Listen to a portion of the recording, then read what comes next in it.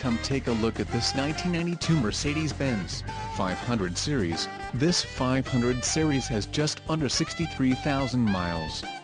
For your protection, a warranty is available for this vehicle.